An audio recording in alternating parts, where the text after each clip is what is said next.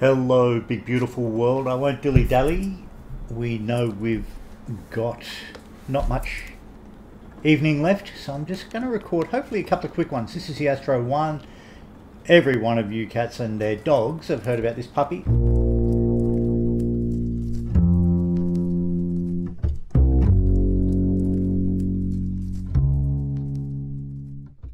But we're flying out of the Orbx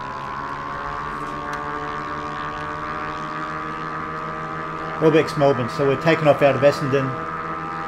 We're just going to um, see what's what. That's what we're going to do.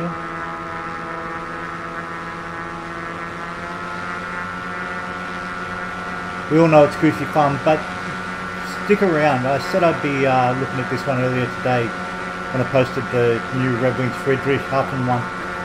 But I also discovered tonight another thing. Look at those blocked up tollways. They look weird, but that's all good. It all adds to the trippiness of the adventure, does it not? We are flying over lovely Essendon. Let's see, let's see. I think I can put earplugs in now. Makes sense. Alright, so hopefully that's a bit better. Um, gives you a feel for it all. Earplugs, Racka Racka all the good stuff. It's GotFriends. You can't go wrong. We all love them.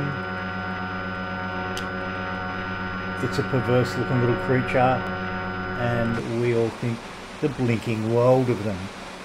Um, and it's, yeah, it's just terrific. It's just nuts to get around in.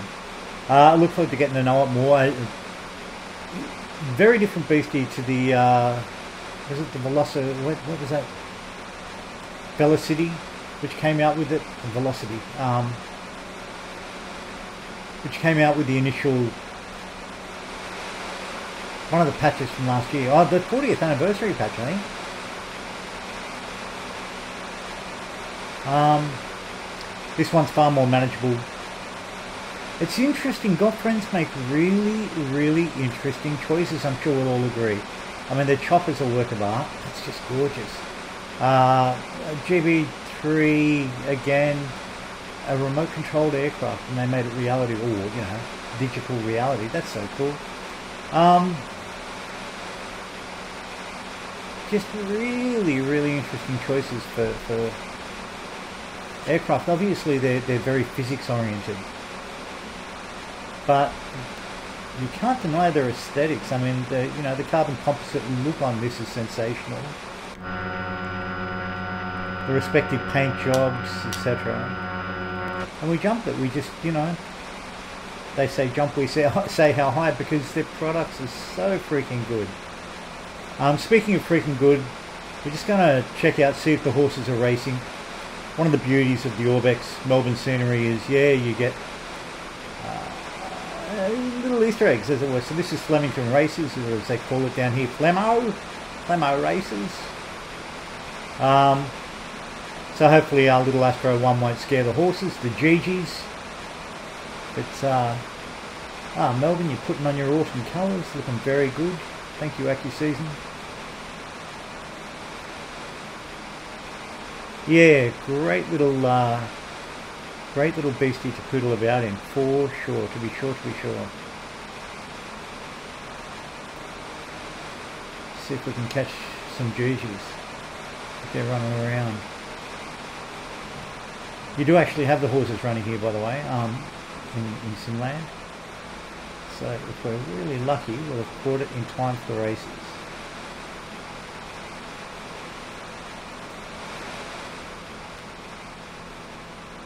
Maybe not. Maybe not. I've definitely flown around here a couple of times to see the, see the ball all galloping around the track. That's kind of a little bonus. Uh, one of the, a couple of the other considerations that uh, Orbx are throwing in is the balloons, the winter balloons and the autumnal balloons uh, flying over Melbourne, the beautiful hot air balloons. And uh, also Let's see if I've got time, just briefly. I'll show you. So we'll head down towards Southern Cross Station. Uh, formerly Spencer Street Station, station on the west side of Melbourne here. But yeah, you're looking pretty gorgeous. Actually, today was a gorgeous day here in sunny Melbourne.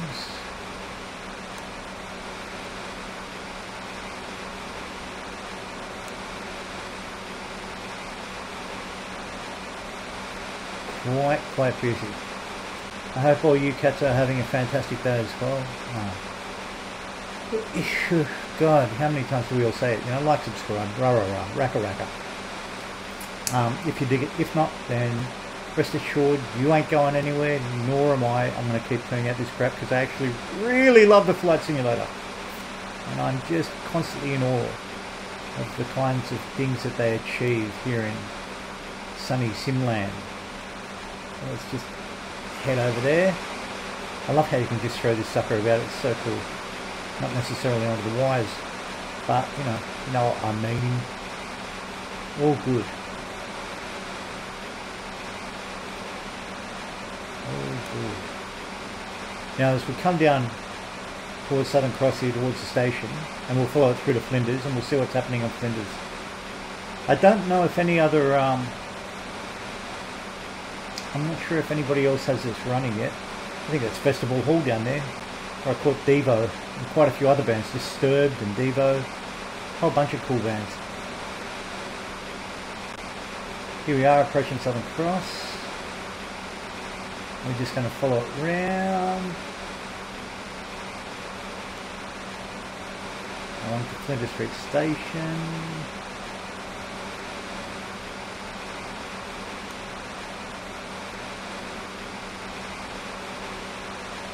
Excellentist.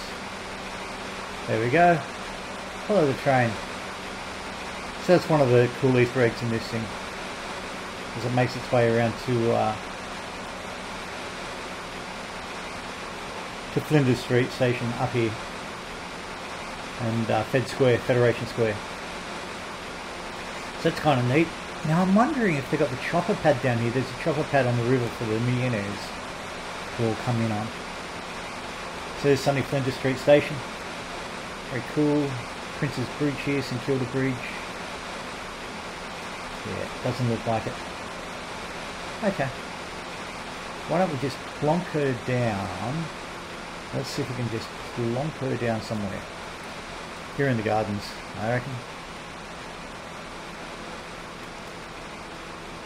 Yeah, cool.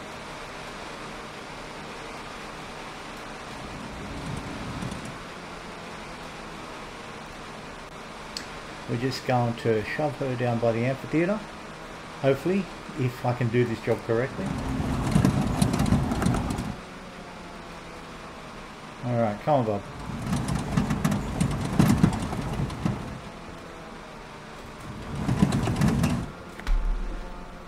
Hmm.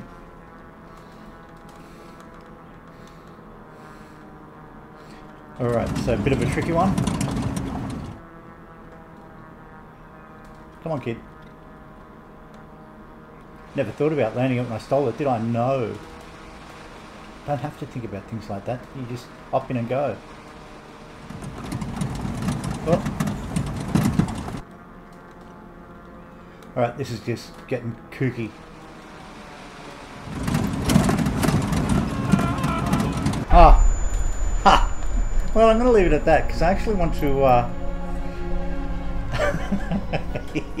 oh god, I'm crap. I actually want to show a different aircraft that surprised me tonight, so I'll be back shortly. So here we are, here we are, here we are, here we are in the Shavrov SH2. Just dropped from um, A1R Studios, really sight unseen. I hadn't expected this, I don't know if anybody really had. Same people who bought us the Chilton a few weeks back and the Ryan STA trainer quite a few years ago or a couple of years back and which both of which I love the high heaven and so I'm delighted that they've snuck this one under the radar as well.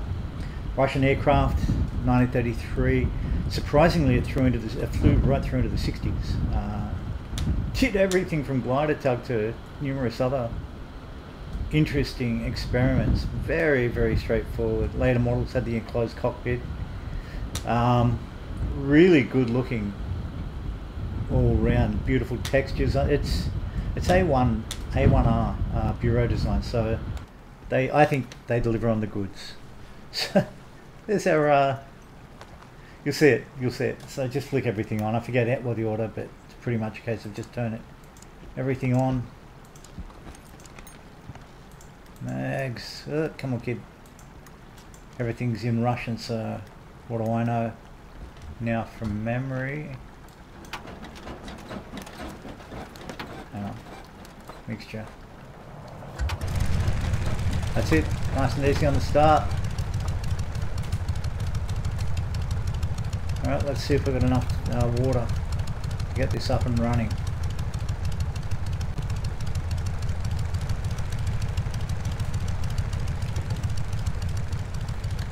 Hopefully. Hopefully, hopefully. So I just want enough.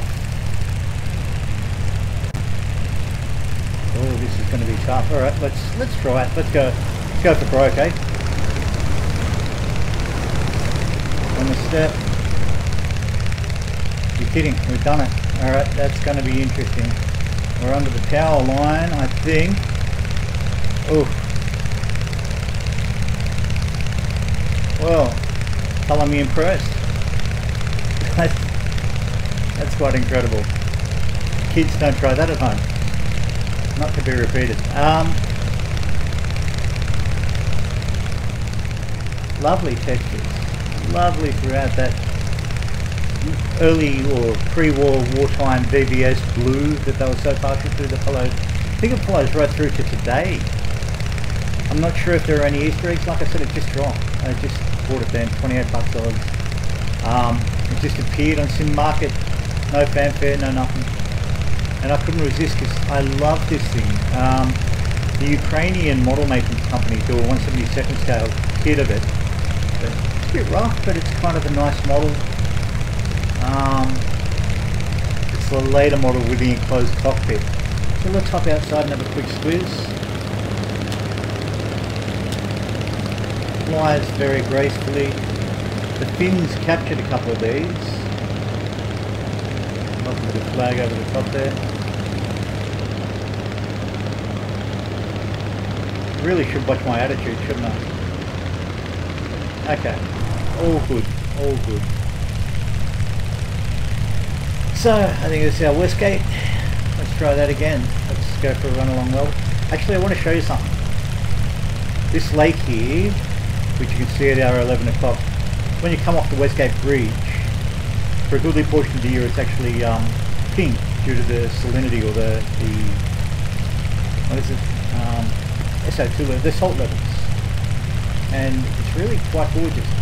We've got a lot of pink lakes down here, especially over in South Australia. But yeah, this one, you catch it at the right angle of day, and it's just, just like um, it's like rose quartz. Quite an incredibly looking, incredible looking thing. Looks like the Spirit of Tasmania. The ferry that takes you from Melbourne down to Tasmania. Good day on the harbour. So as you can see, we've got, um, you don't go fast, she don't go quick. Let's have a look, I'm not sure if there are any Easter eggs. Fuels up front.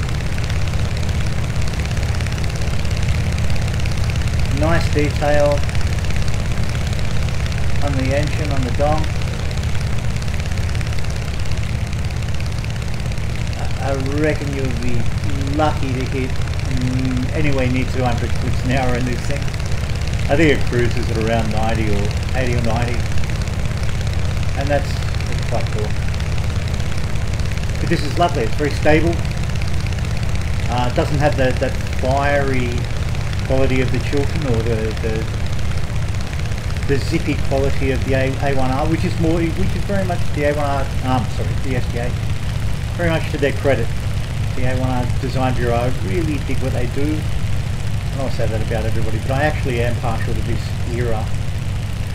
Um, yeah, very, very impressive. I dig it. I like that. You get three liveries. Very sweet. And that little, I'm not sure what Duncan, I think it's the same Dunk engine that you find in the Polikarpov. Um, Kirschfetzen, something like that. But here we are. We'll put down at Brighton Marina or something like that. See how she takes the water, and then actually, you know what? Let's let's let's let's let's not be shy. Let's point it down.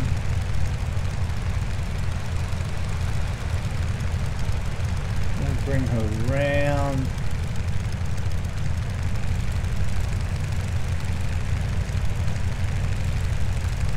And we'll just check out the amphib, amphib qualities of it. Oh, we actually have a, uh, look at that. We do have a seaplane path.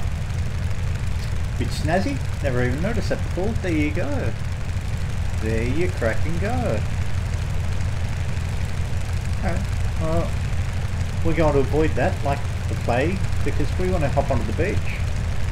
Now what beach are we hitting? I don't think it's Kills, I don't think it's St Kilda. I think it'll be down towards Brighton.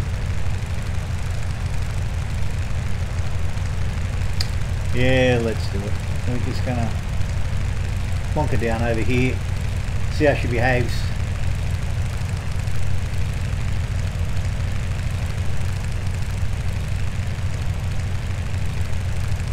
The way, I mean, the clearance between the prop and the top of the hull is really, really extraordinary. It's kind of like, whoa. Just holding her off, hopefully on the step.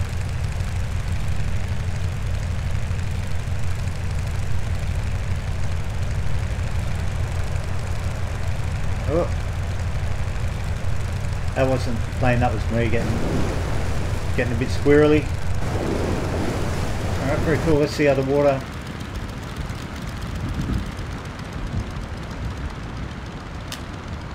Sweet! A little pontoon scuttering about. Very cool. Alright, let's um let's make our way towards the shoreline. Now I don't think I didn't even notice, does it have a separate rudder? Pretty convinced it doesn't. All good just going to keep the right rudder on for a bit. Hopefully the uh, the airflow will go over it and check it all in. Actually, let's let's come over here a bit. I'm thinking. And as we approach, a little bit like an early version of the SeaRey, which is precisely what it is, really. A little amphib, take us all about. I like even the texture on the tyres quite bulbous. Very cool. Okay, so now, now, now, now, now, we is going to, we're going to try and, there we go. There we go. ah, You're lucky fella, I can't be bothered nicking your speedboat. I've just been up in the Astro 1 and this puppy and that has sated my need. Look at that, you even get seaweed on the shoreline. Very cool.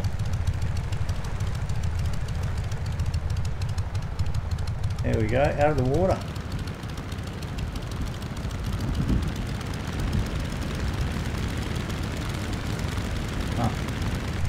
Very elegant little beastie. Alright, and that's the uh, that's your Chaparral SH2. Uh, 28 bucks, I was around, I don't know, 16 euros or something. Um, have a handbrake? Not seeing any. Oh, there we go. Choke. Yep, yep, yep, yep, yep. Off, off, off. Alright, now I'll go go for a dip in um, Port Phillip here and let's hop out and have a squeeze, shall we? Oh, look at that, you get chocks. Okay, cool. That's very, very nice. Okay, so now we're looking up close. Never even thought to do that before. But they haven't skimped. They really have not skimped. Hard to imagine that this served from 33 through 64 in various capacities. Heck of a long run for such a, well, what's fundamentally a 1920s design. Check out those little chocks, very sweet. A1R Design Bureau, I take my hat off to you. This is lovingly created. Very, very sweet work. Well done. Thanks, guys. I don't know what the hell these are. So I'm going to imagine that. Um, no, I'm not going to imagine anything. All right, big beautiful world. Shut me up. Have a fantastic day. See you later. Bye.